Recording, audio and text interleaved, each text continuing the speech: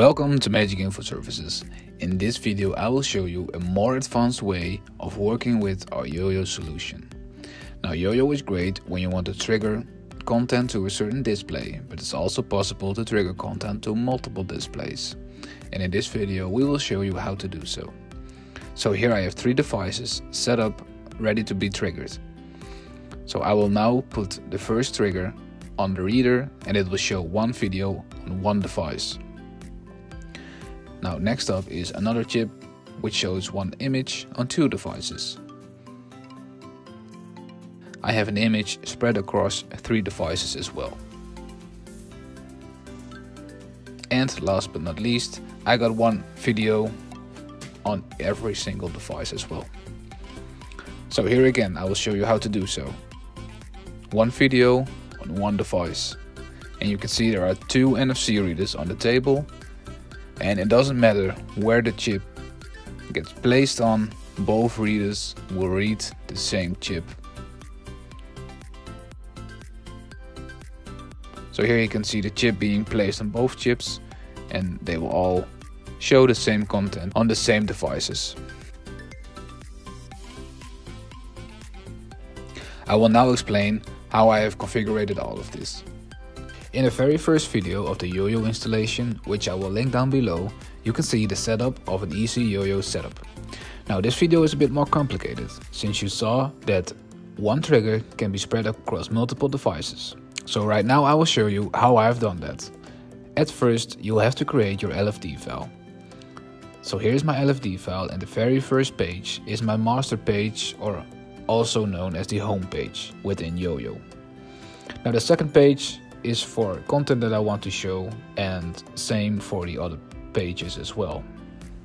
So as you can see, the first video was for the first clip where one video was shown on one device. These two images are shown on two devices and these three images are shown on three devices and the last video is shown on all three devices as well. Now what have I done to accomplish this? In the edit event, here you can see the events that are going on. The very first one is the green trigger. So as I mentioned, the green trigger will go to page 2, which will be the video on one device. Now I have one red chip, but I create two triggers for that chip because it will send one trigger to both devices. So since I've split my content into half, as you can see, because at the bottom my image has been split in half, I've done this in Photoshop. So this is an example on how to split your image. So what actually will be done if whenever I put my red chip on the NFC reader, it will show two pages, which are these two. So which are page uh, 3 and 4. And for the next step is for my blue chip is I created three triggers which all go to a different page as well because I've split this image into three images which will be spread across three devices. And for the final one is black, the black chip, that one goes to page 8, which is actually the same video as the first one you can see right here as well. Now, once that is done, you also have to make sure you go to every page and insert the home trigger because this means whenever you lift up your NFC chip off the reader, it will go back to the home page, which is my gray background. If you do not fill in the home trigger, the content will stay on the display. But this is one way of doing it. You can also use the reversed way of putting content on there, which means lifting it up from the NFC reader and then showing the content. Now, how does it look like in YoYo? Here is my back end of my YoYo device. So what I've done with the first green chip is that it will show content into one target. Now the targets are the devices, so this will be the IP address of your device. Next up are my two red triggers. But remember, I only have one red chip.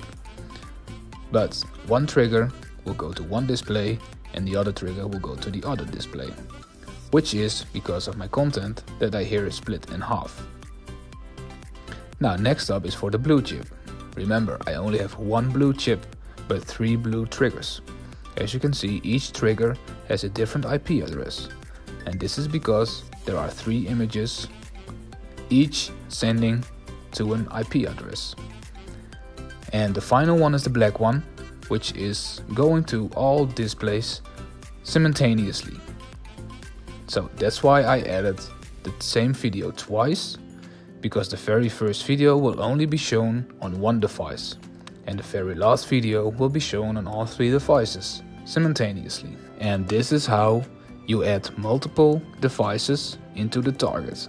So you basically have one full name, no spaces in between, just this symbol as a connector, which means it will show onto every device that is coming after this as well. And also you have to make sure that the pickup trigger is home and it's very capital sensitive, so please be aware of that as well. So I can now show examples here in the edit part, as you can see, which is actually the same information as you saw before. But here you can see the tag, the name and the name of the pickup trigger and the target. Now if we go to the final one, which is the most complicated one because it has multiple IP addresses of the devices in there. So you can just fill them in as long as they are connected to the same network of course and make sure the place down triggers and the pickup triggers are provided with the right names.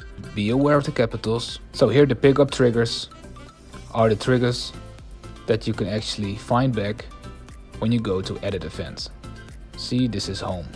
Now if I would have home here with all small letters it will not go back to the home display because it's capital sensitive. And here at the edit event part, as I mentioned, you can see every trigger. So here in the red one, which is the trigger name, that you can find back right here.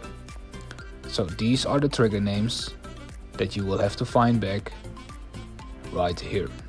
If they do not match, the trigger will not be successful. And you have to make sure the right page gets chosen as well. Now as you saw, there are two readers connected to my YoYo device. And actually the YoYo device reads both of them as one.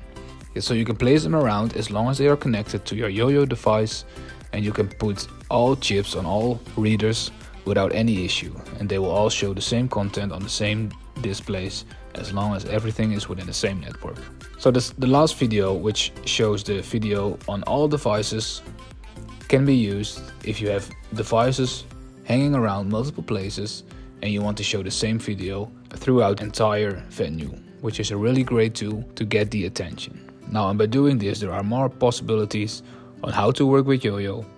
If you have any questions about your scenario, feel free to contact us and we're more than happy to help you. Thanks for watching.